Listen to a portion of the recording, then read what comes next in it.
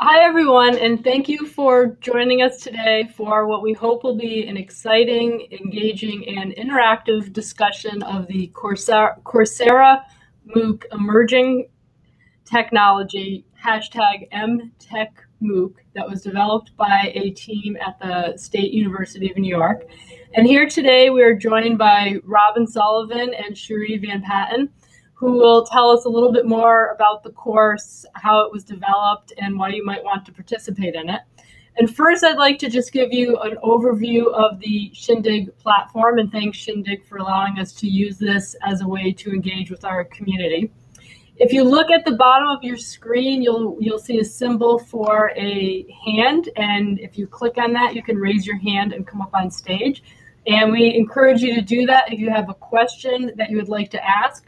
Or better yet, if you are a current participant in the course, it would be great if you came up on stage and shared a little bit about your story and what your experience has been so far. If you don't have the technology or you're not in a space that would avail you to be able to come up on stage, you can also click on the chat icon to simply uh, post a question, and then the question will come up on the screen and we can answer it. We also encourage you to take advantage of the chat space to talk with some other people that are participating here today to learn a little bit and share with one another.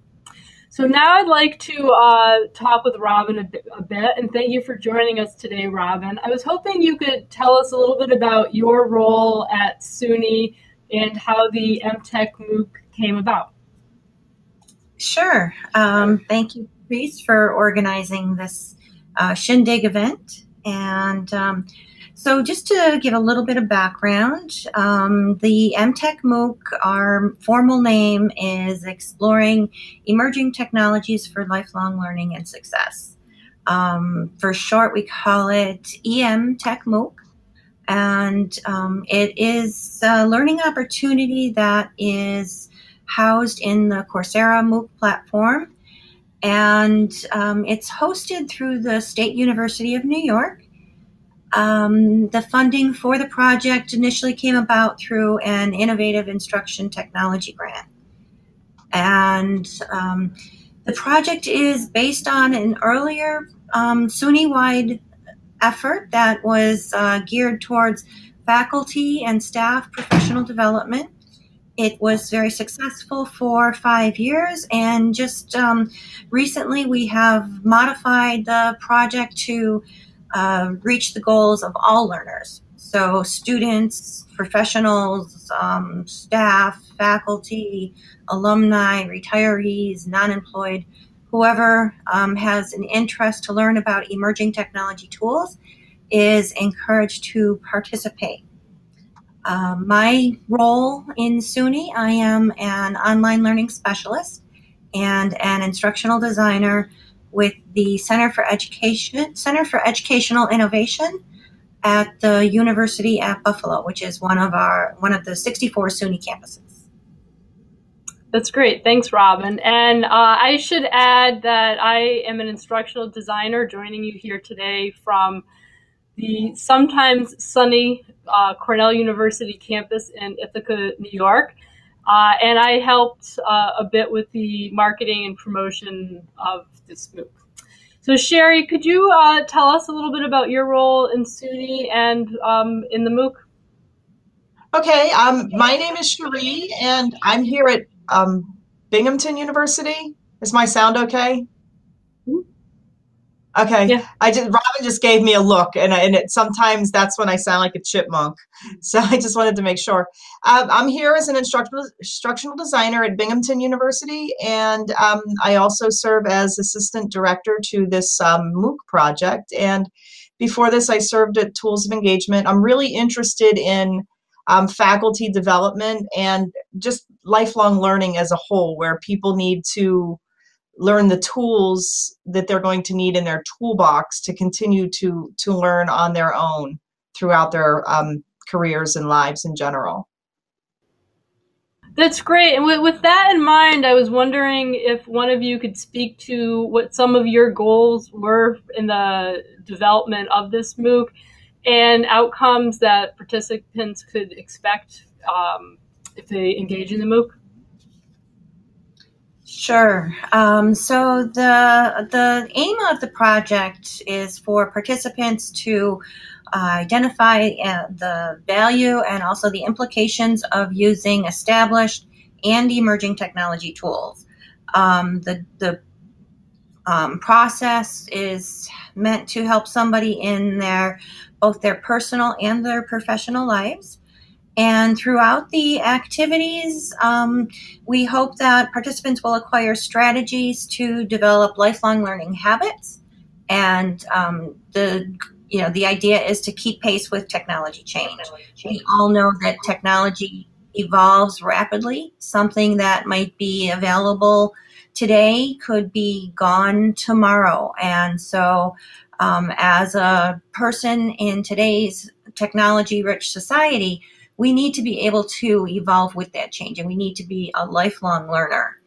So, um, the, the course is meant to kind of uh, start out with a focus on lifelong learning. We have some resources um, that we share on, on gaining some strategies. And then once you gain those strategies and also some of the underlying concepts, um, such as Creative Commons, um, uh, your digital footprint, uh, accessibility of technology tools, also growth mindset is very important um, in becoming a lifelong learner. Then you move on to f- future modules that cover the topics that are focused on 21st century skills. So the future second, third week, and fourth week modules are communication and collaboration are together, um, creativity, and then uh, that's uh, kind of closed out with critical thinking. And um, in addition, um, somebody at the final, uh, throughout the entire MOOC, they develop a personal or a professional e-portfolio that they then share through the MOOC in a peer review process. So it's kind of That's the great. project. Uh, so of course that inspired a lot of uh, a lot of questions. Uh, one of which is some people may see the term emerging technologies and think, well, this course isn't for me, or I probably don't have the skills needed to engage with emerging technologies. Could you talk a little bit about the, you know, you, you mentioned some of the activities, but more of the the skills or competencies a learner might need in order to effectively engage in the course? Sure. Um, so the MOOC is targeted to um, a broad range of learners. So we encourage anybody to enroll, whether or not, um, if you are very new to technologies, this will give you a comfort level to be able to um, pick up some technology tools to be able to communicate same way that somebody is very comfortable just picking up a pen and paper uh, in today's environment, you need to be able to pick up an image, share that image through email, or do a video chat similar to what we're doing now. These are just tools that people need um, on an everyday basis. But if you're somebody that already has technology skills um, or technology knowledge, you can come into the MOOC and it's very much of a discovery basis. So you can um, search for tools through the complimentary wiki that asks you to um, look through the resources that we've compiled and you can determine what is your personal objective for the particular module, find tools that you have not yet explored, and explore them in relation to the activities. Um, if you've managed to somehow explore every single tool on the site, and that's probably not not doable because there's a lot there and everybody's continually adding to the site.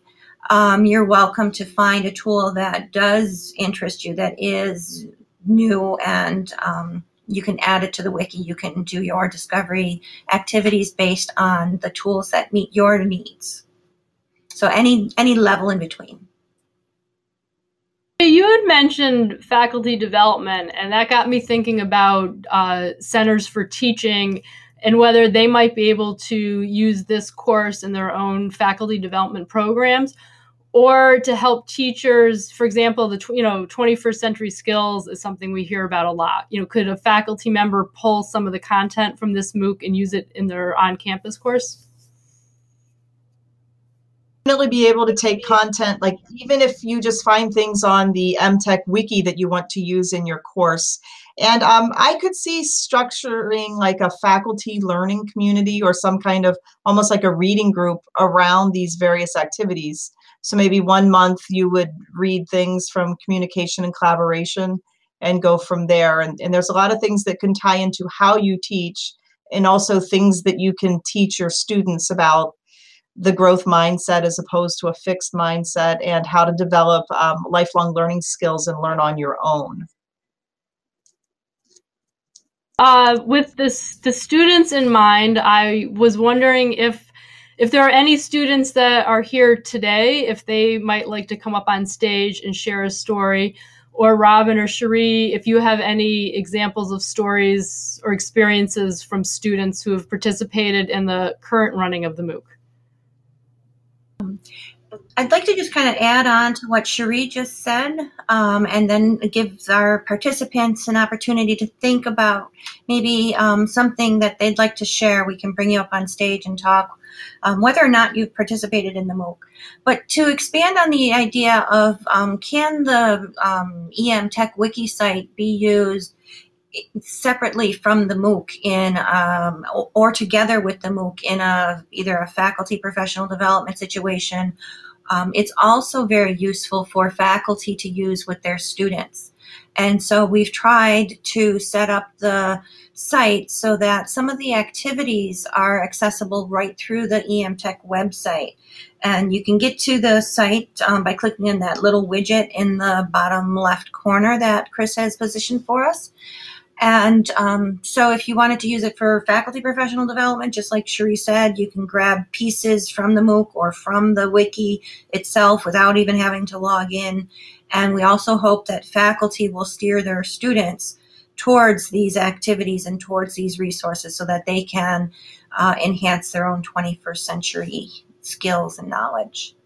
So hopefully that gave everybody that's out there. I see um, one of the co-collaborators on the project who's listening in. Um, a couple of them, and uh, it would be great to we could pull someone up on stage. Um, you are welcome to just click that join podium button, and um, you'll be up, you know, to share some ideas. I see um, a couple of our students in the audience already. So as Robin said, you can simply click on the join podium or you can raise your hand and Chris will Chris will bring you up. Oh, and we have a taker, Jessica Kruger from Buffalo. Thanks, Hello. Jessica, for uh, being brave and coming up on stage to join us. Uh, could you share with us a little bit about your experience in the MOOC and your reasons for taking it? Sure, sure. So I'm actually a faculty member at University at Buffalo, and I'm someone who really loves technology, uh, but I'm always trying to find different ways to integrate it either into my classroom or as faculty development. And so this MOOC actually gave me an opportunity to explore so many different technologies that I haven't seen before um, and learn about them and use them. I actually was just telling someone the other day, I really love the digital profile. It's a great way to collect and put together your teaching portfolio, but also for students to keep the projects that they have and learn more about innovative ways to show and demonstrate um, information actually in my class next semester, students will be using one of the technologies to make an infograph um, to demonstrate to patients um, or clients about different health education needs. So uh, I, I, think it's a really great, fantastic um, opportunity for you to integrate it into your classrooms, whether it's a piece or the whole MOOC, getting your students uh, learning more although they seem to be very into technology, uh, they're always on their phones or computers, it gives them an opportunity to actually learn how to use some of these software, which is a valuable tool as they get out into the real world. Jessica, and I know uh, faculty time is very precious, and I was wondering if you could give us an idea of about how many hours a week you feel like you need to spend in the course to really, you know, get what you need out of it. Uh, I think I spent about an hour and a half to two hours, and um, I, I, actually spent some more time after the course looking through different content and clicking around because there's so much there.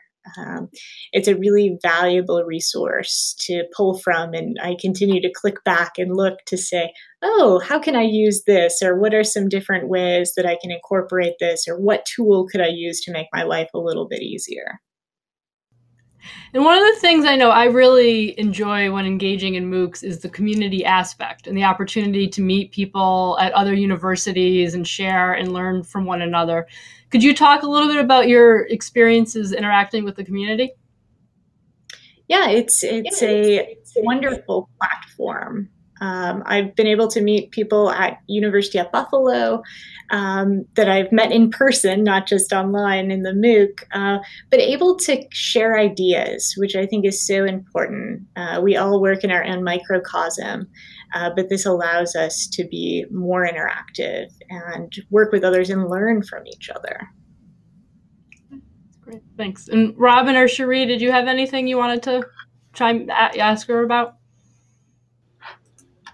Um, no, I think um, you know Jessica was part of our pilot session. We had a pilot that ran. I think we started it in early January, just to kind of have a smaller group run through, um, you know, all the different pieces of the project and make sure that it was ready for prime time people. And um, and then we've relaunched it again this past uh, March twelfth. And so hopefully it became better because we tried to listen to the experiences of the original pilot participants. And just like any good teaching situation, we are continuing to learn. So we are continuing to try to take what we have and make it better. And um, the site that um, Jessica mentioned that she was um, able to go back after she was in the MOOC, the EM Tech Wiki site, um, that's wonderful to hear because that's what we really hope it to be. It's um, a great collection of tools, but the general public is able to go in and continue to add to that site. Um, there's also the ability to rate the tools. So somebody can say, This is a five star. I love Google Docs, but this uh, wiki tool thing, you know, this other site that was added is coming out of date. So it could get a lower rating. And you can the tools automatically show up with the high, most highest rated up at the top. It gives you just kind of three at a time um, to say you know these are the best and then these are the next best. And that site is only going to become really useful and really um, engaging to find tools by the um, crowdsourcing by people adding to that by people putting in their ratings. And so it's great to hear that it is something that's referred back to the grassroots effort behind evaluating the tools? I know there are a lot of websites that evaluate tools, but we sometimes wonder who's sponsoring those websites or how those evaluations are coming about. So it's great to to have an open source an open source like that. Um, so I know, Robin, you just mentioned uh, the pilot and that it's running currently, and I know the next session is scheduled to start April 16th. Could you talk a little bit about the self-paced nature of the course and how that works? Um, so um, our second session is scheduled to start on April 16th. So the MOOC itself is five weeks long and uh, somebody would enroll in the MOOC and go through the different week modules. Um, you can spend, um, you know, I'd say as little as like half an hour to an hour um, you know, getting the activities done. Um, but you can spend many more hours, and sometimes the tools just kind of suck you in. You find one, and then you find another one.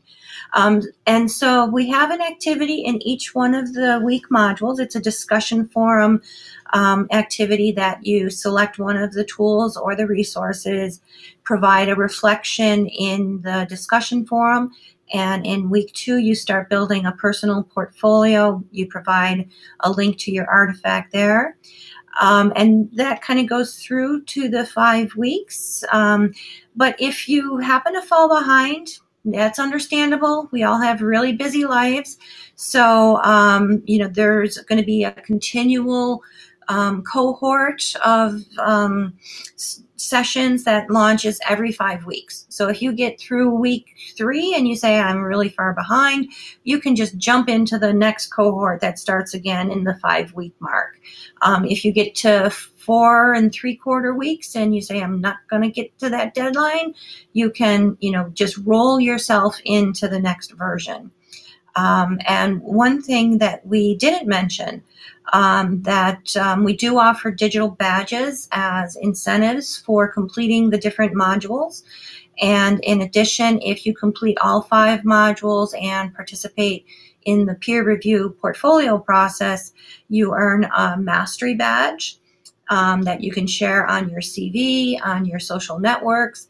You can also earn a Coursera certificate so since this MOOC has been sponsored through SUNY, um, all SUNY participants are able to earn their Coursera certificate at no cost as long as you sign up with your SUNY email. And anyone else throughout the world, we do have um, participants that are from different parts of the world. That's extremely interesting, and I hope to see that grow and grow. Um, participants from other parts of the world that are not part of SUNY are encouraged to participate. They can do everything, all the activities, all the feedback. That's not the case in some MOOCs, but you can participate in all of the activities. Um, except the one thing you, that you don't get for the free version is the Coursera um, printable certificate and that's um, a hot commodity to put on a, a, resume saying I am certified through Coursera for these courses. Chris from SUNY is here. Chris, if you wanted to come up on stage and say a few words, could you just click on the podium? Uh, and while we're waiting to see if Chris comes up, um, uh, Robin or Cherie, I was wondering if one of you could talk a little bit more about e-portfolios. I think some people might think, well, I don't really know what that is or why I should care. Okay, I can take this, Robin. Take this, Robin. So, so basically, an e-portfolio is a way to have a digital representation of your work. So in the case of a portfolio, if you were uh, like a graphic designer or an artist, you would have a portfolio of your work that shows that you can you have mastered different things required in your profession. And an e-portfolio is, is the same kind of thing.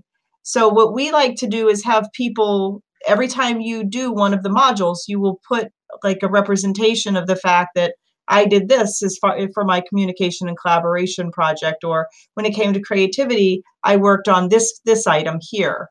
And um, I also teach um, an internship class through our Career Development Center. And there was a time when I was using those in my class as well, so that the students would have a, a representation of what they've done in college. And then they would also be able to include a resume and a cover letter, like a generic kind of cover letter, maybe more like a bio and they could use it as a career artifact when they went out looking for employment after school. Um, and it's something that we're I'm considering uh, adding back into my program because I do think the students like to have that record when they leave college. Is there anything else you'd like to add, Robin? Um, our university um, just recently made the e-portfolio a requirement so every student that comes in the door as a freshman at UB has to leave with an e-portfolio that shows their digital footprint, their professional persona. Um, and so it's something that is being, um, you know, one of those emerging trends that is being more sought by employers as uh, people are looking for jobs. And it's a, it's a really important part for you to say who you are as compared to letting the rest of the world put little pieces up that you don't have the control over. You want to put your footprint out there. And thank you, Chris, for uh, joining us to round out the conversation as we near the end of our time. Could you tell us a little bit about your role at SUNY and why SUNY um, wants to offer a MOOC like this? What the you know, what, what why it's so important? Yeah, we've been involved for a while, and I just think not to be too repetitive here, but what everybody's been saying, kind of we echo that.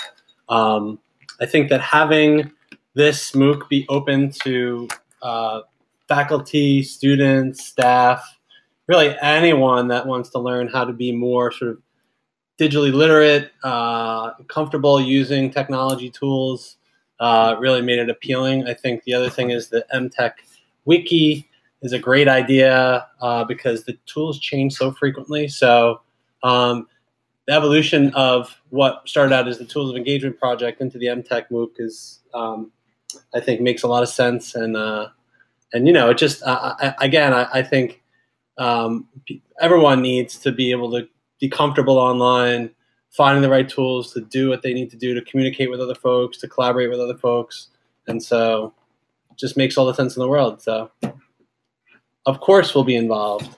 Thanks, Chris. Uh, and Robin or Cherie, is there anything that you want to add, a last call to people before we uh, wrap up our session? Um, I just, uh, there's a question in the chat that um, I can address from uh, Caroline. And um, so she asked, um, what uh, platform does our university require students to use? And so right now, our um, university is using the Digication platform, and that's also something that is in use at many of the SUNY campuses. And anybody that joins the EM Tech MOOC is uh, encouraged to request a free Digication account so that's kind of a great offer that we've been able to make a partner with the Digication company. Um, so you can individually request an account. If you have an account through your institution, for example, if you are associated with UB or Stony Brook, which also uses Digication, you're encouraged to use your campus system so that um, one of the things that's uh, limit in the, um, the MOOC is that support is through the community. So if you have an issue, you kind of ask your colleagues, uh, can somebody help me figure out how to change the permissions on my portfolio? Um, if you have uh, an account for a Digication portfolio or any other type of portfolio or a blog or whatever you want to use, create a video. Um, if you use a system that's supported by your campus or by your organization, you're more likely to be able to use that um, support that might come with that benefit. I think um, you know I don't. We're at our time, so I just want to um, say thank you, Patrice, for helping us to organize this event, um, and thank you to everyone that um, took part and jumped up on the stage. And Shindig is a great platform. Thank you to Shindig for allowing us to host this event. And we um, didn't really take advantage of the sub conversations that can happen in Shindig, but so we'll maybe have to do this again. Yeah, that sounds good. All right. Thanks, Robin. Thanks, Cherie. And don't forget to click on the EmTech icon on the bottom of the screen if you would like to sign up and learn more. Thanks a lot, everyone. Um, http colon slash slash suny.edu slash emtech. So that's E M T E C H. Hope to see you in the MOOC.